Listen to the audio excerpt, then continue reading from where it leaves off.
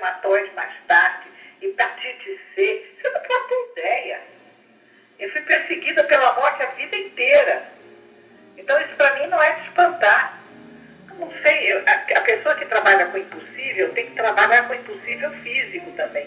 E se não fosse essa parte física, eu não teria descoberto o impossível. Só porque eu vivi no impossível é que eu fiz tudo o que eu fiz, senão não dá. Eu sou cega. Eu não posso ler, escrevi 36 livros grandes, o resto pequeno foram 2 milhões e meio de exemplares. Então eu tenho que voltar para dentro, porque quando você estava me gravando eu não via a sua câmera. Ou eu me volto para dentro ou eu morro.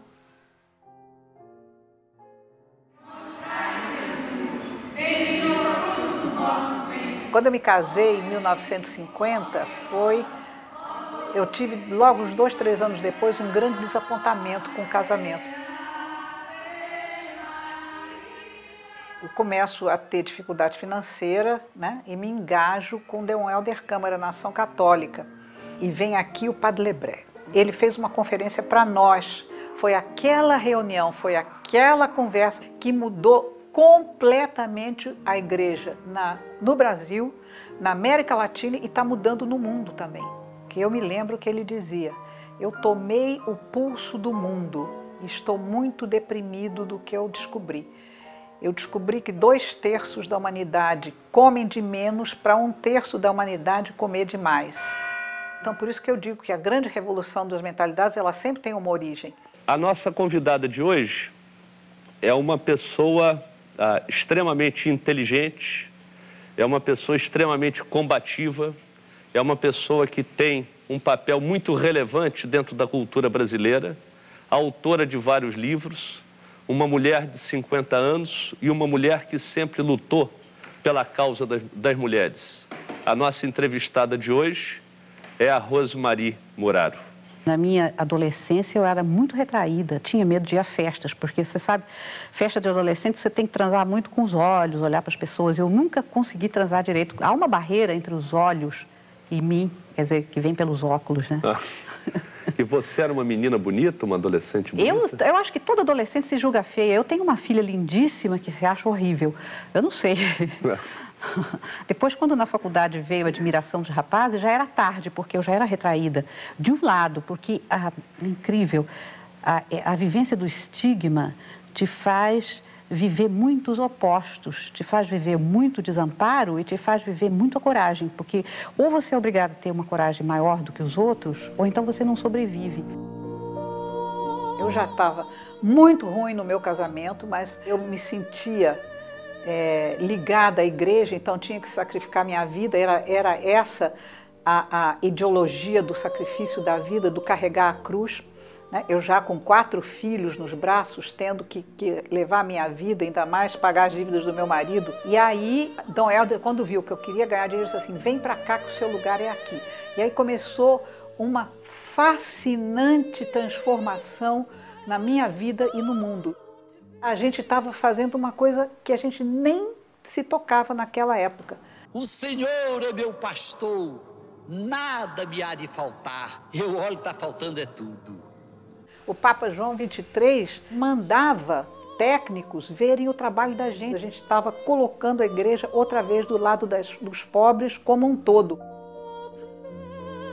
A Revolução de 64 foi feita não contra o movimento comunista, mas contra tudo que a gente estava fazendo, que pegava o Brasil inteiro. E aquilo me mantinha com uma grande paixão pela justiça, que era o que eu nunca tinha encontrado na minha infância. Eu acho que a política do corpo tem uma importância revolucionária muito maior que qualquer reforma agrária ou a luta pela Constituinte, porque é a partir daí, do dentro do ser humano, que ele é incapaz de resistir a isso que está aí. Igreja, mãe de família e meio saidinha com os militares, eu ia para a televisão dizer, falava o que eu queria, porque eu tinha costas quentes, eu tinha igreja comigo, eu era adorada na igreja. Enquanto eles não sabiam que opção que eu já tinha feito. A opção de ser uma dissidente. E eles perguntavam: quem é esta mulher? Esta mulher é muito inteligente, mas a gente, ela é muito misteriosa. A gente não sabe bem se ela é de esquerda, se ela é de direita, e se ela lida com mulheres, se lida com igrejas e o quê? E eles não tinham por onde me pegar. Então eu me safei.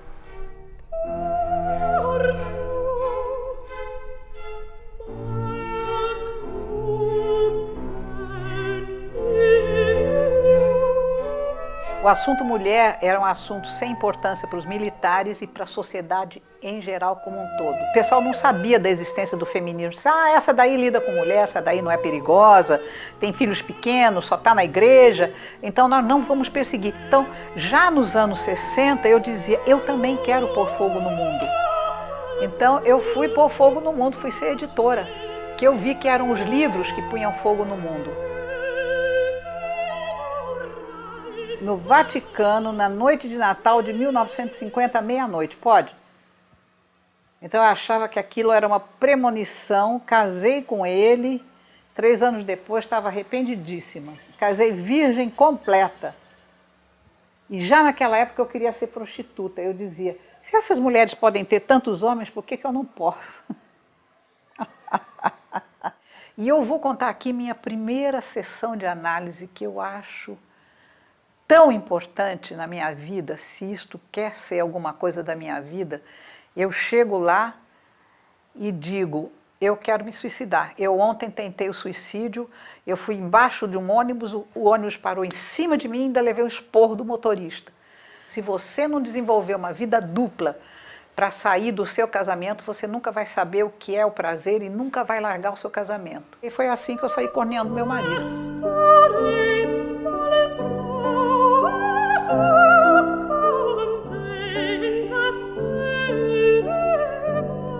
Descubro o grande prazer da sexualidade.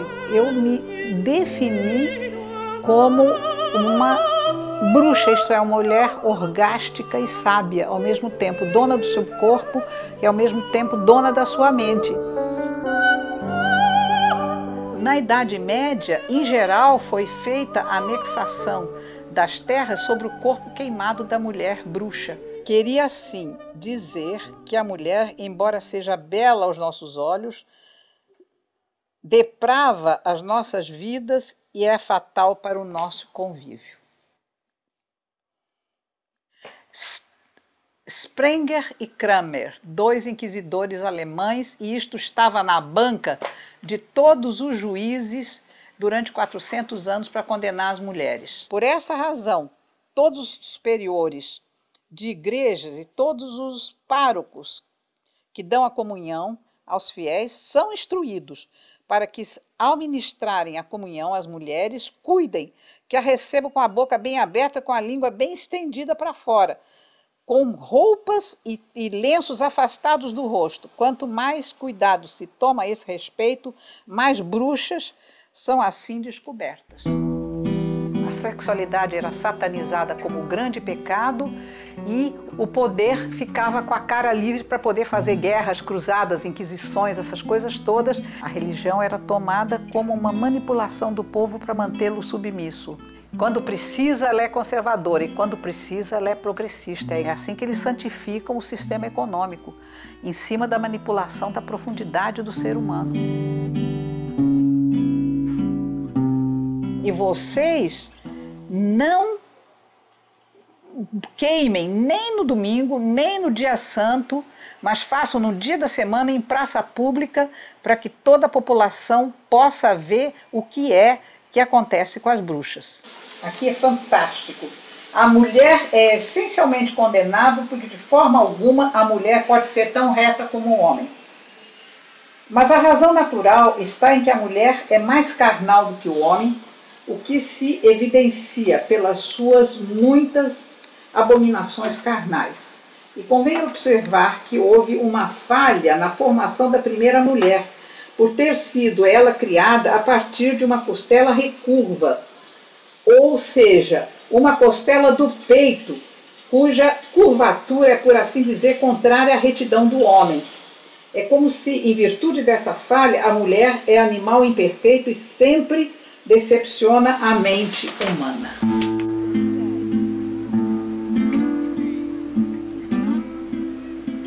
Então a gente desmistifica a violência na medida em que a gente admite que o gozo não é o supremo pecado, mas é o supremo prazer.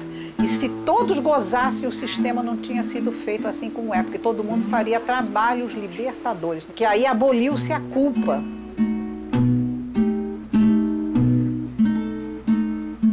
Depois, depois disso, depois que todas as bruxas morreram, as mulheres ficam tão apavoradas que elas viram as histéricas de Freud. Elas ficam tão apavoradas que elas viram mulheres inorgásticas, ótimas donas de casa, e elas são as histéricas. Então, como o desejo, a tesão, depois de de um certo tempo, quando ela não pode sair pelos órgãos genitais, ela sai por toda a parte do corpo. Então, você pega doenças tre tremendas, ou tem, tem num dedo, ou tem dor de estômago, ou tem dor de cabeça. Entende? Ela vem por qualquer órgão, chama-se o retorno do reprimido. E eu só vinha tomar consciência do feminismo na mão da Madre Cristina, que era uma freira de São Paulo, que me deu o livro da Betty Friedan para ler, da Feminine Mystique, em que eu me encontrei retratada ali, em que ela dizia que todas as mulheres reprimidas de repente se deram conta de como elas fabricavam a sua sobrevivência, elas tinham direito de ter o seu orgasmo, que de, desde a queima das bruxas até os anos 60, as mulheres que tivessem orgasmos eram consideradas mulheres de má fama, de má vida. Então a minha cabeça fundiu. Eu fui da época em que ter orgasmo era um pecado e da época em que não ter orgasmo era um pecado também. Aí eu chamo a Betty Friedan. Quando eu chamo a Betty Friedan para o Brasil, ela era famosíssima, mas era uma mulher feia, de nariz torto, ela fazia assim o arquétipo da bruxa é, é, convencional, porque as bruxas eram mulheres lindíssimas, mas eles faziam um arquétipo de bruxa feia justamente para desqualificar as bruxas. Ela fazia o arquétipo da bruxa feia, agressiva. Então, na, naqueles anos, a mulher passou aqui três dias, mas o Estado, a igreja, a mídia, a opinião pública toda caiu em cima da minha cabeça, não em cima da cabeça dela. Que, é, o governo militar era, ela era uma cidadã democrática que não podia tolerar o governo militar. Isso ela falou. Falou para quem quisesse ouvir.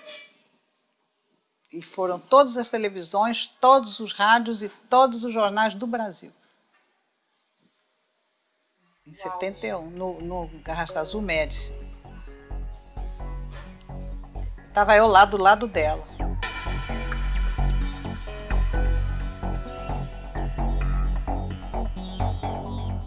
Havia no começo seres perfeitos, que tinham duas cabeças, quatro braços, quatro pernas e eram hermafroditas. Eles eram tão poderosos que ameaçavam os deuses.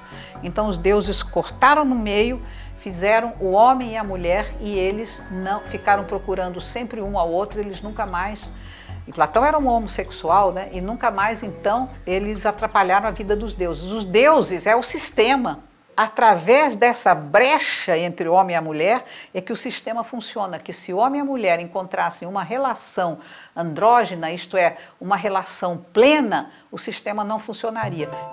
Eu acho que onde começa o casamento acaba a relação homem-mulher. Porque aí entra dinheiro, entra filho, entra uma série de coisas, entra um cotidiano burguês horroroso, desgastante. E entra sempre a relação sado-masoquista. Tem sempre um bonzinho e um filho da puta.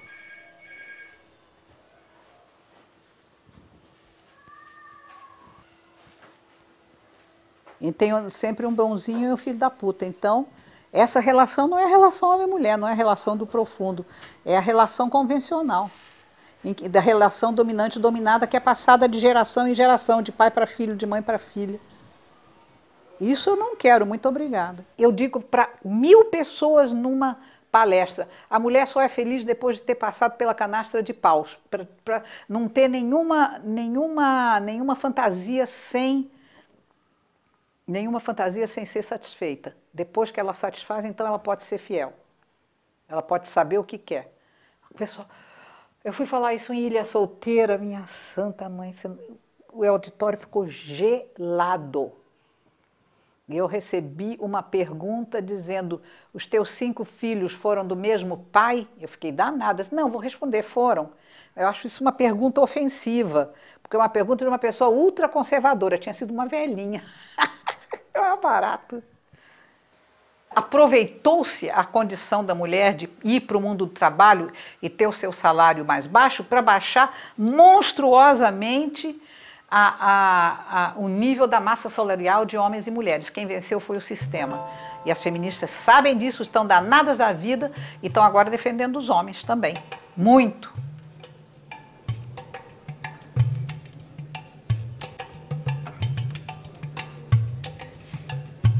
Eu descobri como é que o sistema é, ele fabricava o inconsciente do oprimido, como é que fabricava o inconsciente do opressor, como é que fabricava a sexualidade, como é que fabricava o orgasmo.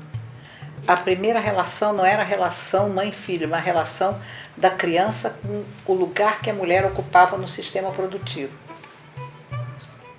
Eu disse, fechou. Porque faz muita diferença ter uma mãe rica ou uma mãe pobre, porque a mãe desnutrida, ela não tem como dar ao filho a comida que ele necessita. Então, desde que nasce, o que vem no inconsciente da criança é: minha fome é para não ser satisfeita. Portanto, todos os meus desejos são para não serem satisfeitos. Aí você está fabricando o oprimido. O que acontece com o rico é o seguinte: toda vez que uma criança rica chora, ou semi-rica chora, e vem o seio materno, acontece, todos os meus desejos são para ser satisfeitos. Portanto, o mundo me pertence. Como elas em geral têm uma babá, que elas fazem gato e sapato da babá, assim, os outros são inferiores a mim, então eu tenho direito, o mundo me pertence, eu sou dono do mundo. Que os ricos falavam diante do dinheiro e os pobres, tudo que eles falavam era diante de Deus, é a vontade de Deus, é porque Deus quer. Ainda não fui assassinada pelo sistema. Eu gostaria que ele gravasse isso se for. O câncer é uma doença somática. Todo câncer é uma doença é, que a gente cria, a gente fabrica. Eu vi que meu câncer era a briga que eu tinha tido com Deus, que eu, afinal de contas, não era uma progressista verdadeira. Dentro do fundo do meu ser, eu era uma conservadora, carola. E foi graças a esse câncer que eu, eu tive consciência da minha natureza dissidente, da minha natureza transgressora. Eu estou focada na totalidade. Por que, que você não muda o, o enfoque para a totalidade? A partir da totalidade, a mulher sai como uma flor. O grande ênfase é na destruição da espécie. Que bruxaria, sexualidade, poder, o ênfase é na destruição da espécie. De lá você passa para todo o resto. É o único problema da humanidade que, que é insolúvel. Queria dizer que uma curva linear é uma curva que é uma linha reta. A exponencial é uma curva que começa a velocidades lentíssimas vão aumentando e depois vem a velocidades explosivas. Quando eu vi que a automação, que todas as, as, as tecnologias tinham essa curva, eu disse a história também tem essa curva e tinha. Exatamente o patriarcado começa quando eles sabem quem é o pai da criança. E aí começa a botar a mulher dentro de casa, começa a oprimir a mulher e começa a, a relação opressor-oprimido aí. O ser humano era nômade, não tinha propriedade privada de nada, não tinha um deus masculino, era uma deusa feminina. O deus macho, completamente masculino, ele começa quando começa a lei do mais forte. Não é mais uma deusa no fundo da terra, dando comida de onde tudo sai para onde tudo volta depois que morre. Mas é um Deus de cima para baixo, controlando os corações e as mentes e olhando todo mundo com um olhar repressor. Isso é Yahvé, Deus dos exércitos, é, é Júpiter no Olimpo, é Oxalá no Olorum. Como eu não estou enxergando, não sei se meu dedo está no certo. Aqui, Neolítico é 20 mil anos atrás, é onde eles inventam a, a, a cerâmica, as agulhas. É como se ainda fosse o, o, o, ser humano ainda na idade da pedra, e não é. O mundo agrário já está cá em cima, 10 mil anos atrás. O mundo industrial já está na pontinha. da exponencial, entenderam? E cada termo da exponencial é maior que a soma de todos os outros juntos. Entendeu? E nós estamos aqui, que é a segunda revolução industrial, a revolução dos computadores, e agora vem a nanotecnologia e a biotecnologia. Mais invenções tecnológicas que todas as outras fases da humanidade juntas. Por isso que o cérebro humano não pode mais aguentar. O que vai acontecer ano que vem e vai ser muito mais intenso e muito mais profundo do que está acontecendo agora.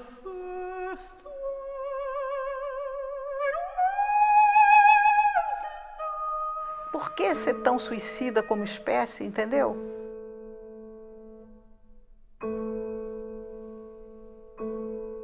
A gente é uma das poucas espécies vivas que tem cabeça para pensar em si mesmo e cabeça para pensar no universo.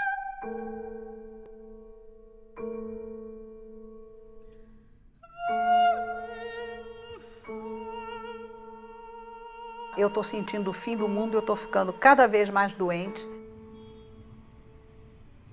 ficou como uma obsessão para mim que eu peguei a doença do mundo. É a dor de ver o mundo morrendo e provavelmente no fundo do meu ser eu querer morrer junto com ele.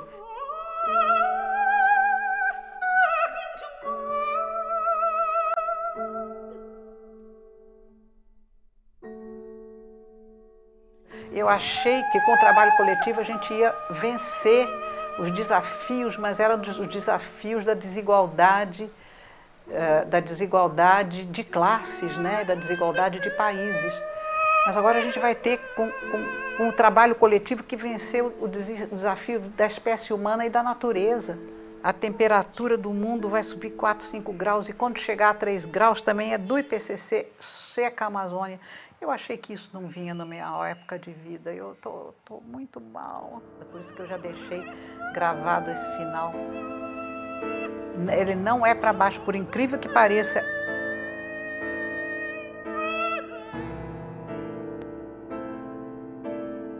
É a única possibilidade que a gente tem de voltar a um sistema que, em que a mulher tem a vez, porque quem é cooperativa quem faz a vida, né? quem amamenta a vida, quem mantém a vida é a mulher. E ela guardou esses valores arcaicos enquanto o homem partiu para uma violência histórica que é muito recente na história da humanidade.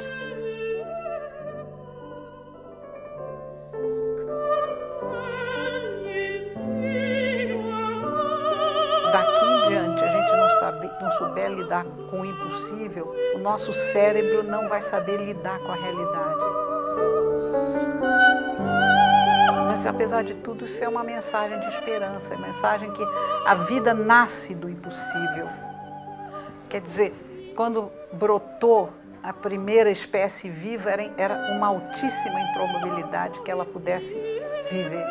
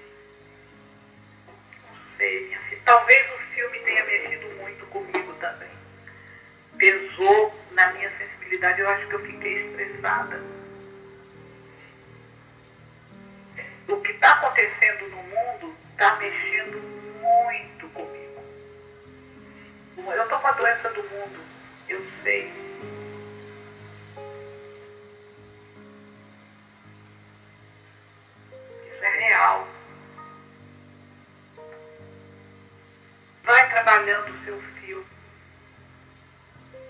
Mas por outro lado eu fico feliz porque eu acho que o grosso já foi feito.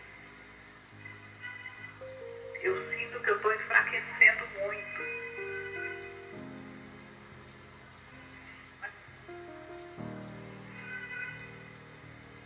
Assim, os últimos dias da vida, a pessoa que tem câncer, assim, é esse tipo de dor. Eu sabia. Lembra que eu disse para você que eu tinha medo de morrer num mar de dores? Pois eu vou enfrentar.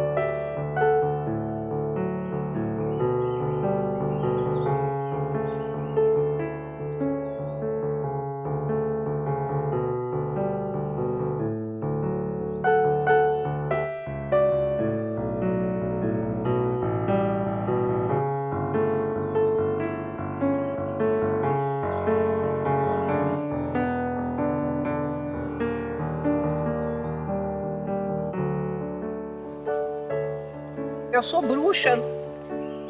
Eu tenho poções mágicas dentro de mim, eu não tenho medo de nada.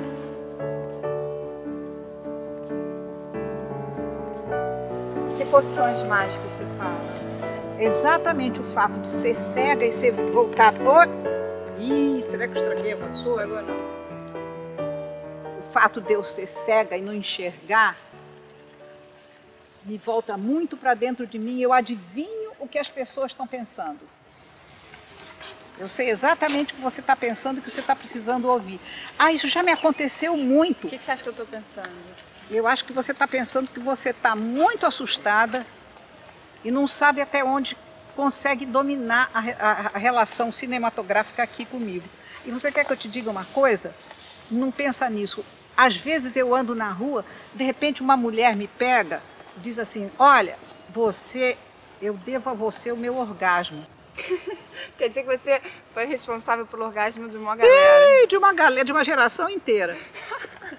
E através delas, da cadeia das gerações. Não pensa que essa garotada tem orgasmo hoje porque elas tiraram o orgasmo do nada, mas porque elas já tinham uma convivência com mulheres que aprenderam orgasmo na geração passada. Que até a geração passada, só as bruxas tinham orgasmo. Tá boa essa vassoura, Dib? Tá boa. Tá ótimo. E se você der, de, de, perdão da palavra, der com traseiro nas pedras, hein? Eu tô, eu tô, eu tô sabendo que tem alguma coisa aí atrás. Agora, se for tecer, na hora a gente vê, né? É. Eu estou dizendo que você não pode me dirigir como você dirige uma atriz. Eu sou dirigida pelo meu inconsciente. Eu sou muito amiga do meu inconsciente. As pessoas, em geral, não são amigas do, do inconsciente. Eu sou. Eu não quero dirigir você, eu quero dirigir o filme. Mas é para me dirigir o filme, tem que me dirigir, não pode. Nem eu me dirijo. E ninguém controla a realidade. A realidade é suprema. Não sei. Eu não estou dizendo que é mal amor. Eu só não quero que você me pergunte como eu sou na cama. que eu não vou responder. Por quê? Porque eu não quero responder. Ah. É indevassável. Não, mas eu nem te fiz essa pergunta. Você Mas- que está querendo, você que tá querendo que eu pergunte. Mas se você pergunta, eu digo isso é indevassável, eu não vou responder. Pode perguntar. Como é que você é na cama? Eu não vou responder porque isso é indevassável, é um problema só meu e do meu companheiro. Tá, eu também não responderia se eu fosse você. Então pronto, Tá resolvida essa questão. está resolvida essa questão. A impressão que eu tenho é que você quer chegar a um nível de, de, de, de concretude que não é para se chegar, ele vira um pântano. A concretude seria questões cotidianas, de relacionamento. Mas que- o meu relaciona- relacionamento eu fiz questão que não tivesse cotidiano para não banalizar a relação, porque quando eu tive cotidiano, eu odeio cotidiano. Nunca fui a supermercado, não sei fazer café, nunca limpei um prato, sou cega, nunca tomei conta de criança. Tive cinco filhos com relação maravilhosa com todos os cinco. Para que, que você precisa de um cotidiano do sistema? Uma coisa que você nunca me perguntou e devia é se eu já tinha tomado drogas. Você já tomou drogas? Eu já. Todas. E posso te contar o que eu senti com cada uma delas. Então vamos lá. Primeira. Primeira, maconha. Na primeira viagem foi ótima. Eu fiz umas quatro ou cinco ensinei várias pessoas e depois me arrependo, porque aí o coisa se espalhou. Mas eu mesma, depois de um certo tempo, eu começava a sentir sono. Achei uma porcaria. Eu sentia muito sono. Eu dormia. Cocaína. Eu tive duas experiências. Uma com uma grande atriz de cinema. Não senti nada. Cheirei aquela fileirinha, foi como se tivesse nada. Uma segunda vez eu estava com o meu namorado, era seis horas da manhã. Eu vi um, um, levanta, um nascer de sol dourado 15 minutos maravilhosos, depois eu tive vontade de cheirar mais cocaína para não sair daquele estado. Olha um cogumelo. Cogumelo tomei também, Já achei muito- já, mas aquilo não escravizou não. Eu tomei, achei chatinho. Estava num bonde indo para Santa Teresa. Eu fiquei muito alegre, muito hilária e não achei graça. Agora, É mesmo? é. Depois Não deu nada, nem... não deu, deu barato, mas o grande, a grande droga que eu tomei, eu não tomei heroína não, nem crack, pelo amor de Deus, eu não sou idiota. Eu tomei o Santo Daime. Me chamaram, o pessoal do Daime me chamou para eu experimentar, ver o que sentia. Foi uma coisa verdadeiramente iniciática. Atrás de você tem um tronco, Ela vê tudo, tá vendo? Soprada. Tá. Menina, daí a pouco eu vomitei a alma. Desmaiei, que eu sou muito sensível, e comecei a ter alucinações. Eu sonhei que eu estava triste, chorando, e apareceu uma deusa com uma trança preta, como as índias peruanas. E eu disse: Meu Deus, isso aqui é a Pachamama. Ela estava vestida com um vestido lilás e um, e um boleirinho rosa, que são as, cor- as cores do feminismo. E eu chorava muito no colo dela. Ela disse: Olha para lá. Eu olhei e vi um barco, vi um rio se abrindo na minha frente. E era um barco lindíssimo, todo entalhado à mão e tinha 12 deusas gregas, todas elas. Era Afrodite, Atena, todas as deusas gregas, fazendo assim para mim. E aí eu tive a intuição que o meu feminismo era a vontade de criar um novo feminino que viesse do mais arcaico possível e me fez continuar no meu caminho, apesar de tudo.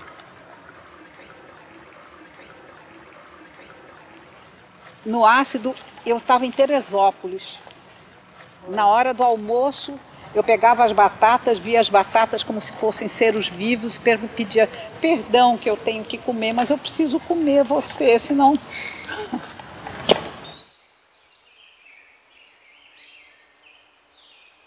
Ah, minha filha, depois daquilo eu vi que tomar droga era inútil. Aí eu disse assim: deixa eu ser prisioneira da energia do universo. E é com ser isso prisioneira da... energia do universo, que ela é totalmente livre e ilimitada.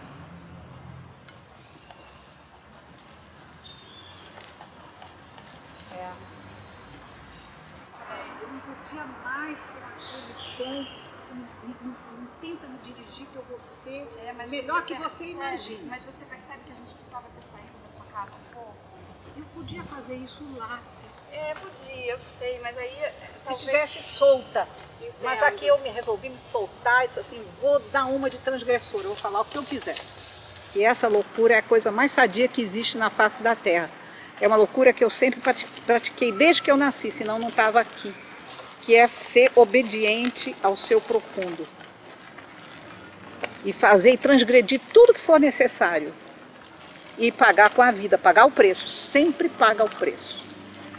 E para mim pagar o preço, é tá- eu acho uma humilhação estar nessa cadeira, mas dá- danou-se. O que eu vou fazer? Então aproveito e varro. Ele faz alguma coisa, né? Pelo menos faço alguma coisa. Tô com fome, vamos comer? Mas fala do... É, eu sei, eu tô sentindo. Se você não deixa o santo baixar, Deixa eu pra Acho que eu deixei agora. não agora deixei, não. deixou. Deixei mesmo. Isso eu digo para você. Mas não saiu como você queria, nem como eu queria. Exatamente. Saiu como Deus queria.